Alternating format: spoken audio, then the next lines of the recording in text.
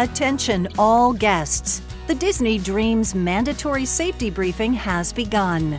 We ask that you please remain where you are for the duration of this briefing. The purpose of this briefing is to provide instruction to familiarize you with our emergency procedures. In the unlikely event of an actual emergency, you will hear the general alarm, which is seven short blasts, followed by one long blast of the ship's whistle, accompanied by the sounding of the alarms.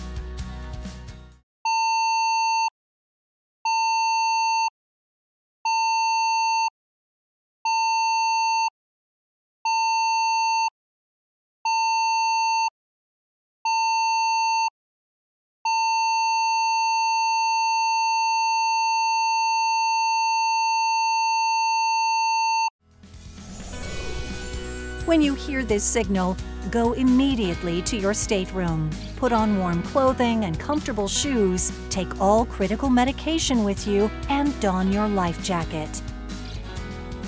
In the event of a real emergency, please pick up your children from Youth Activities programming.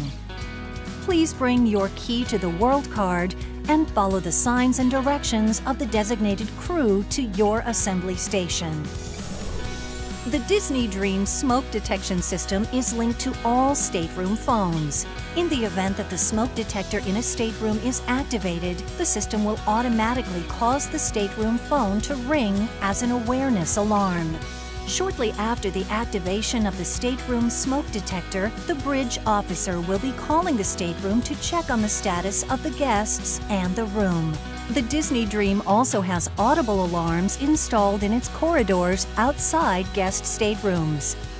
Upon hearing one or more of these alarms, please leave the area and notify the nearest crew member or call guest services. Your help in responding to one of these alarms will add to the safety of our guests, crew, and ship. If you smell smoke or discover a fire, press one of the red fire alarm call point buttons around the ship. This warns the bridge so that immediate action can be taken. In the event of a fire and during drills, fireproof doors may block your route. Although these doors are heavy, they may be opened by hand and will close automatically behind you. The Disney Dream is equipped with low-level emergency lighting, which is installed in the floors of the corridors to help guide you to the exits. It is important that you do not use the elevators in an emergency because you could become trapped in the event of a power failure. There are other signals that do not directly affect guests. These signals may also be heard during the cruise when a crew drill is held. You will be given advance notice of these drills by ship announcements. Three long blasts of the ship's whistle is the signal for man overboard. If you should see anyone fall over the ship's side, you should throw a life buoy or anything else that will float over the side, shout, man overboard, and immediately notify the nearest crew member. Man overboard, port side, call the emergency line. Here are the instructions for donning your life jacket. First, unroll the strap and extend the clip to the end of the strap. Then, hold the life jacket in front of you and pull apart the opening for your head for easy access. Next, put your head through the opening and then pull the strap behind your back. Insert the clip into the buckle on the right side of the jacket and pull the strap tight so that the life jacket feels snug around you close the neck collar and verify that the life jacket fits securely around you. The life jackets are equipped with a whistle and a light to attract attention. The light will be self-activated once in contact with seawater. Please do not tamper or remove them. The life jacket is filled with permanent flotation materials and does not require inflation. If you are unable to reach your stateroom for your life jacket, Extra life jackets will be provided by your assembly crew from the storage locations near the lifeboats. In the unlikely event that it is necessary to abandon ship, the order will be given verbally from the bridge and your lifeboat will already be prepared for boarding on Deck 4.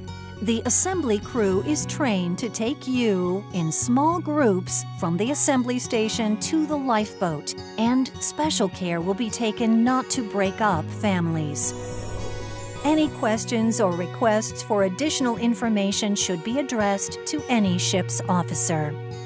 The ship is equipped with the most modern satellite distress communications devices that will alert Coast Guard stations and other ships of an emergency. If at any time during your cruise you require urgent medical attention, you should contact the medical center directly by calling the medical emergency line from any ship's phone. The number to dial is 73000. The ship's medical center is located on Deck 1, forward, on the port side. The medical center is only accessible via the ship's forward guest elevators. If you require non urgent medical assistance, you can call the medical center. The number to dial is 71923 from any ship telephone to make an appointment. Should you require non urgent medical attention outside of operating hours, please contact guest services by dialing zero from any ship's phone and request a transfer to the duty nurse. We do ask that if you are feeling unwell at any time, that you return to or remain in your stateroom and call the medical center for assistance by dialing zero for guest services and requesting medical services. On behalf of the captain and crew, we thank you for your attention during this very important guest safety briefing. The briefing is hereby completed and to our crew, you may now resume all operations and services.